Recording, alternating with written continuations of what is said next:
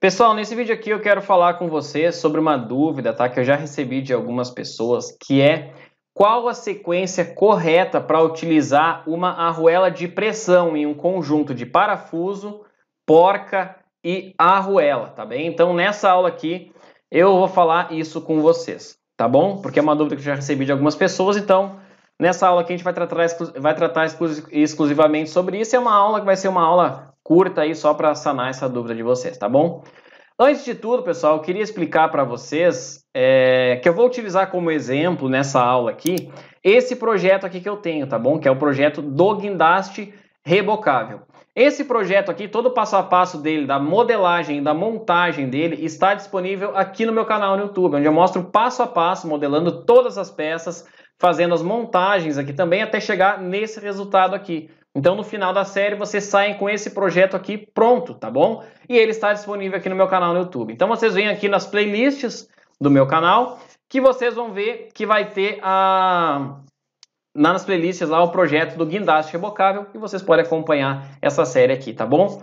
Outra coisa importante, antes da gente iniciar aqui, eu não gosto de fazer uma aula superficial para vocês, só para dizer de cara assim qual é a sequência que utiliza ali ah, o parafuso, a porca e a arruela, tá? Eu gosto de explicar tudo para vocês para ter um contexto à aula. E a primeira coisa que eu queria falar aqui é sobre o que é uma arruela de pressão. Então eu entrei no Google aqui e coloquei para mostrar para vocês na prática mesmo o que é uma arruela de pressão. Então isso aqui, pessoal, é uma arruela de pressão e a norma dela que a gente utiliza é DIN 127. Essa é a norma dela. A arruela lisa, a gente utiliza a norma DIN 125, tá? Arruela lisa, DIN 125, arruela de pressão, DIN 127. E por que a arruela de pressão ela tem esse nome? Pelo seguinte, ó. Conforme vocês estão vendo aqui, ela tem um corte aqui. Ela é uma arruela, que tem uma outra imagem, ó, que ela é virada. Eles viram ela assim e deixam ela exatamente assim, ó. E o que que acontece? Quando a gente... Ela funciona como se fosse como uma mola aqui no conjunto ali do parafuso, da porca e da arruela. E o que acontece? Quando ela é colocada e ela é apertada, ela vai para o lugar aqui e fica tudo aqui, ó. Deixa eu só colocar, deixa eu abrir isso aqui uma nova guia aqui para melhorar. Ela fica, bom, deixa aqui mesmo. Ela fica assim, pessoal, ó. ela fica toda plana aqui. Porque isso aqui vai para o lugar, conforme você aperta a porca ou o parafuso, isso aqui vai para o lugar e fica tudo reto. Só que o nome dela é arruela de pressão porque é o seguinte, pelo fato dela ser torcida ali e ela ficar reta no lugar, ela é assim e quando ela é apertada ela fica reta. Mas essa pressão aqui, ela sempre existe. Então por isso é a arruela de pressão. Ela está sempre fazendo uma pressão contra o parafuso ou contra a porca lá no conjunto que a gente utiliza. Entenderam, pessoal? Então é assim que por isso que ela tem esse nome, porque há uma pressão aqui, ó. Ela faz uma pressão contra o parafuso. E quando a gente utiliza uma arruela de pressão? A arruela de pressão, geralmente, tá? Eu falo geralmente porque tem outros casos, mas de modo geral, ela é utilizada onde há em, em máquinas onde há muita trepidação. Em juntas de parafuso ali, conjuntos de parafuso, porca e arruela, onde há muita trepidação na máquina, muita vibração. Porque o que acontece? Se a gente colocar um conjunto, um conjunto entre parafuso, porca e arruela sem uma arruela de pressão, e eu botar uma porca normal lá, na sequência já vou falar sobre porca também, mas se eu colocar uma porca normal lá, uma porca simples, com o tempo, pessoal, o que, que pode acontecer? Sem eu colocar uma arruela de pressão.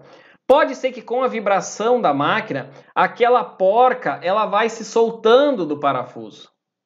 Se eu não colocar uma arruela de pressão e uma ou uma porca Parlock, uma porca DIN 985, uma porca autotravante que a gente fala, pode acontecer esse afrouxamento do parafuso e, consequentemente, o afrouxamento da porca. Entenderam? Isso se eu não colocar a arruela de pressão e nem uma porca Parlock, lá uma porca autotravante que a gente fala.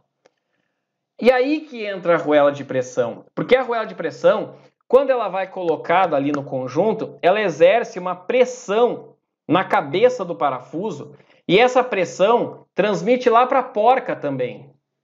Eu posso usar duas, eu posso usar uma arruela de pressão naquela cabeça do parafuso e uma arruela de pressão lá na porca. Ou uma só, tanto faz. Tá? Se vocês querem uma coisa mais firme assim, digamos assim, onde vai ter muita, muita, muita trepidação, vocês utilizam duas. Uma na cabeça do parafuso, uma na cabeça da porca. Mas o que acontece é que com a arruela de pressão, ela evita que esse afrouxamento da porca aconteça. Porque, como eu falei para vocês anteriormente, ela exerce uma pressão na cabeça do parafuso, vamos falar assim na cabeça do parafuso, e essa pressão na cabeça do parafuso, ela dá um resultado lá na porca, que também vai transmitir essa pressão lá para a porca. Eu posso colocar outra arruela lá na porca também. Mas com essa pressão que ela exerce lá, o que acontece?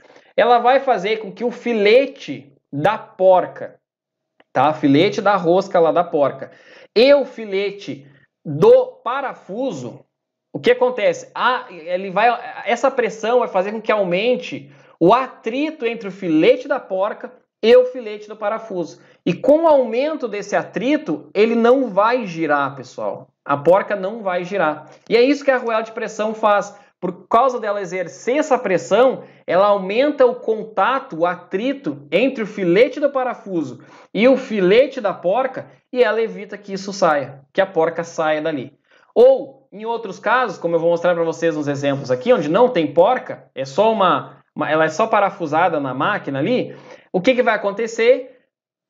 Essa arruela de pressão, estando ali na cabeça do parafuso, ela vai exercer uma força, uma pressão ali na, na cabeça do parafuso, que vai consequentemente aumentar o atrito entre o filete do parafuso com o filete da rosca da máquina lá. E é por isso que ela acaba não saindo. Então, quando eu utilizo a arruela de pressão, quando eu tenho muita vibração, porque ela vai fazer com que, ao colocar ela ali, há um atrito muito grande entre os filetes da porca, ou o filete da, da peça, ou o filete do parafuso ali também, e esse acaba não havendo a soltura do parafuso. Porque é muito comum em máquinas, pessoal, às vezes a gente vê acontecendo isso, pelo fato do pessoal não utilizar uma porca ultravante ou uma arruela de pressão, acontece esse afrouxamento ali. Entenderam? Então eu fiz uma introdução geral para vocês aqui. E agora, vamos então, que eu expliquei, vamos para um caso real aqui. Bom, então agora que eu expliquei para vocês, pessoal, eu vou mostrar nesse projeto aqui, conforme eu falei lá no início, esse projeto está todo disponível no meu canal no YouTube, eu vou mostrar aqui para vocês qual a sequência correta que a gente utiliza, tá bom? Olha só, eu tenho nesse caso aqui, ó, eu vou abrir esse conjunto para mostrar para vocês, eu tenho aqui uma arruela de pressão sendo utilizada e uma arruela lisa. Então, olha só, eu vou abrir esse conjunto aqui para mostrar na prática para vocês. Vou abrir aqui, ó. Olha só, nesse caso aqui, o que, que eu tenho? Isso aqui a gente chama de garrafa no nosso projeto aqui, no caso do guindaste. Ó. Isso aqui é uma garrafa que a gente fala, tá? Dentro da garrafa aqui, tem o cilindro ali, ó, tem uma, um cilindro cremalheiro, vamos dizer assim, que ele faz o giro do pinhão da torre do nosso guindaste lá. Então, lá na série do guindaste rebocável, eu falo tudo isso aqui, explico tudo isso aqui lá. E além disso, eu modelo todas essas peças aqui, faço todas essas montagens. Então, por isso que é uma série muito interessante para vocês participarem, tá?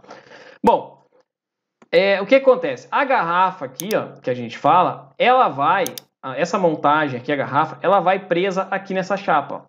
Então, nesse caso aqui, o que, que eu fiz? Tem uma rosca que vai aqui, ó. Tem rosca que vai nessa chapa aqui. Essa aqui é uma rosca, ó.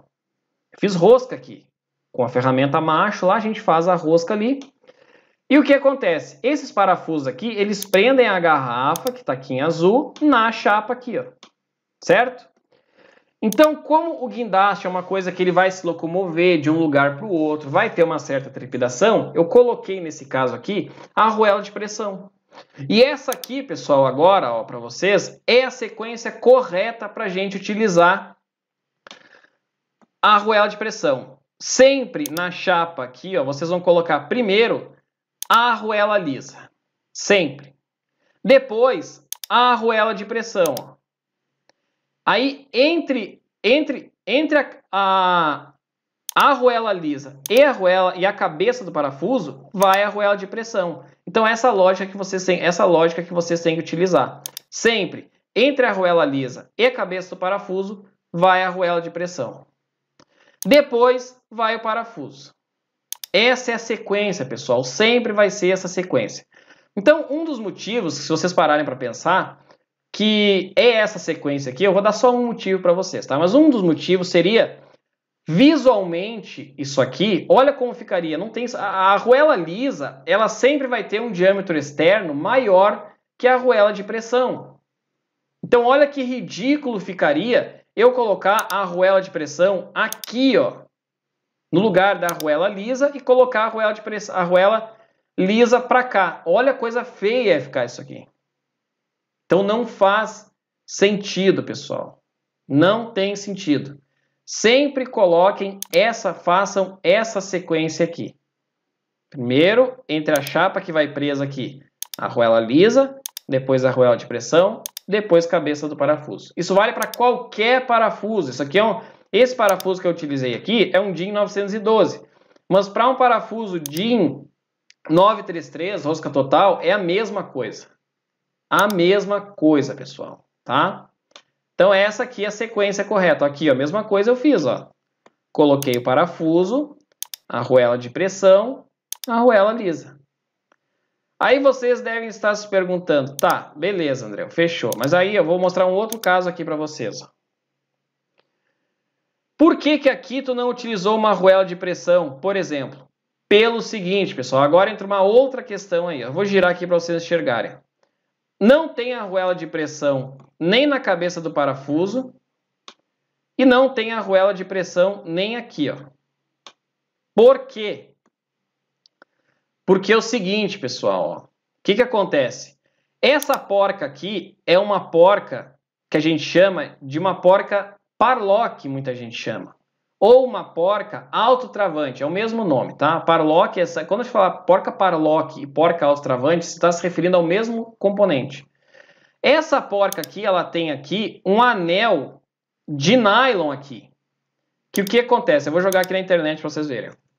Porca Parlock. Olha só, essa aqui é ela.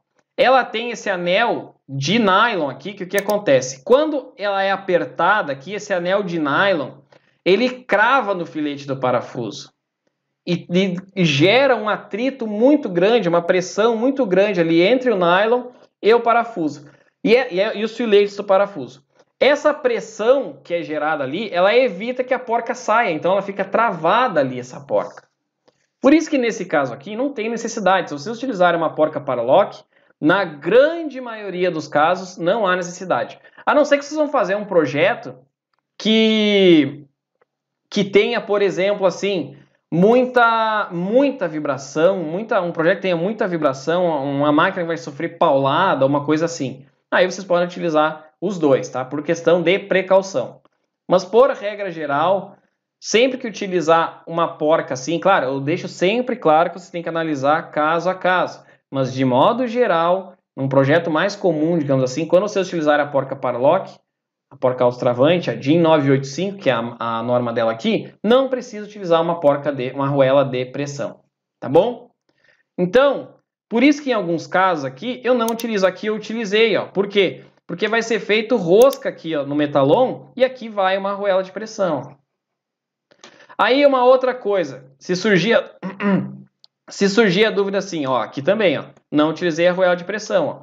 Mas André, em um caso assim, ó, que eu tenho o, o parafuso aqui e a porca do outro lado, e aqui não fosse uma porca parlock, fosse uma porca normal, uma DIN 934, que é uma porca normal, sem, é, sem, ser, sem ter o anel de, de nylon ali, Aonde eu utilizaria a arruela de pressão neste caso aqui?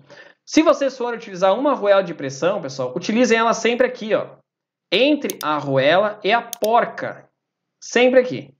Agora, tem gente que usa nos duas arruelas de pressão. Aí eu utilizaria a outra aqui, ó, entre a arruela lisa e a cabeça do parafuso. Simples. Mas por regra geral, pessoal, 90% dos casos, se vocês utilizar uma porca normal, uma porca simples lá, uma porca sextavada que não seja autotravante, utilizem uma arruela de pressão só, que vai aqui, ó. Tá bom? Aqui, entre aqui, entre a, a, entre a arruela lisa e a porca aqui.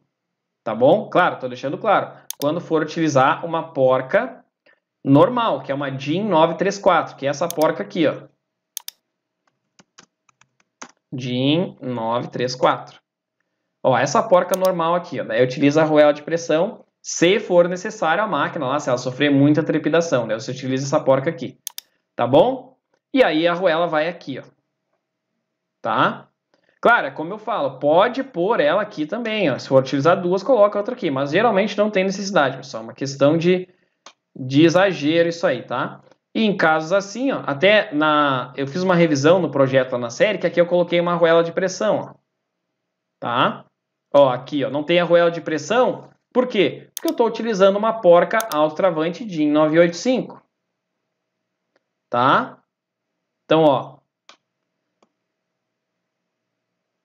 Então, pessoal, é... deixa eu ver se tem mais algum caso que eu posso mostrar para vocês. Aqui não tem, por quê? Porque eu estou utilizando uma, uma, uma, uma porca parlock ali, né? Uma porca autotravante. Então, é isso aí, tá? Então, assim, eu espero que com essa aula eu tenha tirado, é, deixado, tirado bastante as dúvidas de vocês aqui. Aqui, ó, por exemplo, utilizei uma arruela de pressão aqui. Por quê? Porque não vai ter porca do outro lado. Essa é uma coisa que você tem que observar também. Quando não tiver porca do outro lado, vocês não têm a opção de utilizar uma porca parlock, analisem o projeto, o projeto de vocês, se ele vai sofrer trepidação e coloque essa porca, essa arruela de pressão, tá? Nesse caso aqui, ó, eu vou ocultar aqui para vocês entenderem o que, que acontece, ó. Ó, essa peça aqui vai parafusada ali naquela cantoneira. Tem uma rosca nessa cantoneira aqui, ó. Tem rosca nela e essa peça é parafusada nela. Entenderam? Então, por isso que eu coloquei para não deixar sem nada ali. Tá? Vou dar um Ctrl Z para voltar aqui. Então, pessoal, é isso aí. Eu espero que com essa aula eu tenha sanado essa dúvida aí que muita gente tem, ó. Que não foi a arruela de pressão. Por quê? Porque eu estou utilizando ali embaixo, ó. Ah, não. Aqui eu estou utilizando um rebite roscado, ó que é um outro item muito interessante que eu utilizo, que eu falo lá, tá? Então, assim, é... aqui também eu não estou utilizando por quê? Porque vai parafusado aqui embaixo, ó. Isso aqui é uma capa que tem aqui, ó. Se eu ocultar ela, vocês vão ver ali, ó, vai uma porca DIN 985 ali, tá vendo? Então, nesse caso, não precisa utilizar a arruela de pressão ali, porque tem uma DIN 985, tá? Então, assim, pessoal, espero que com essa aula eu tenho, tenha sanado essa dúvida de vocês. Muita gente tem essa dúvida, tá? De qual a sequência correta. Então, acredito que com essa aula aqui eu tenha explicado tudo isso aí para vocês, tá bom? Então, era para ser uma aula curta, na verdade, se tornou uma aula extensa aí, mas é porque eu gosto de explicar todo o processo de vocês. Tudo. Eu sei que às vezes a aula se torna cansativa, às vezes eu repito as coisas aqui, mas eu não gosto de chegar aqui e dizer, pessoal, a sequência é essa aqui, faz isso. Não. Eu quero pessoas aqui comigo que entendam todo o porquê, todo o processo. Entenderam? Então, por isso que eu explico tudo para vocês. Ah, você vai ficar aqui é, 15 minutos assistindo um vídeo? Vai, mas você vai entender todo o contexto do negócio. Tá bom? Então, pessoal, nessa aula era isso aí, tá? Último recado aqui, se algum de vocês está acompanhando aqui, ainda não se inscreveu no meu canal, vem aqui embaixo desse vídeo, clique no botão inscrever-se e ative o sininho para você estar recebendo as notificações das próximas aulas que eu for postar. Além disso, deixe seu like, isso é muito importante aqui para o crescimento do canal, e compartilhe os vídeos aqui com colegas de faculdade de vocês, colegas de curso técnico, ou só quem queira aprender SolidWorks e projeto mecânico por hobby mesmo. Então compartilhem com os amigos de vocês. Tem também meu Instagram e meu Facebook, aqui na descrição desse vídeo eu vou deixar o link para acesso às duas redes. É só vocês virem aqui embaixo, me seguir e me curtir. E tem também meu site. Se quiserem conhecer um pouco mais do meu trabalho, é só entrar lá. Tá bem, pessoal? Então, tá, um forte abraço e até a próxima aula.